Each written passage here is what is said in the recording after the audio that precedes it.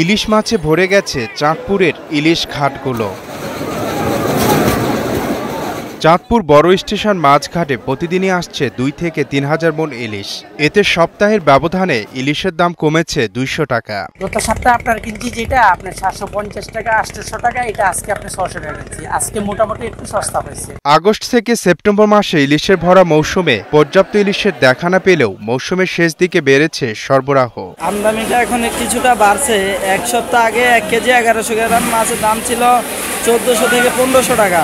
এখন তেরোশো থেকে চোদ্দোশো টাকা দেড়শো দুশো টাকা কেজিতে এখন কমছে। মাছটা আগের থেকে বাড়ছে আপনার দূর দূরান্ত থেকে মাছটা চাঁদপুরে আসতেছে। চাঁদপুরের মাছঘাটে এসব ইলিশের অধিকাংশই ভোলা সন্দ্বীপ ও হাতিয়া থেকে আসে বলে জানায় আড়তদাররা আমাদের চাঁদপুর ঘাটে লোকাল ইলিশ মোটামুটি আলহামদুলিল্লাহ মোটামুটি আমদামি হইতেছে কিন্তু বাইরের মাছগুলো বেশি।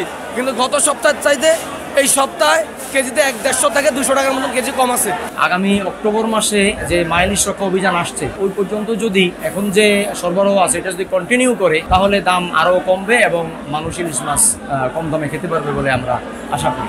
তবে দাম কমলেও মৌসুমের তুলনায় এখনও তার নাগালের বাইরে বলে জানায় সাধারণ ক্রেতারা। সিজন হিসেবে যে রে- মানে যেরকম কমার কথা ওইরকম কমে নাই। লোকাল মাছটা আমরা নিয়েছি তবে সিজনের তুলনায় এখানে লোকাল মাছটার একটু দাম বেশি।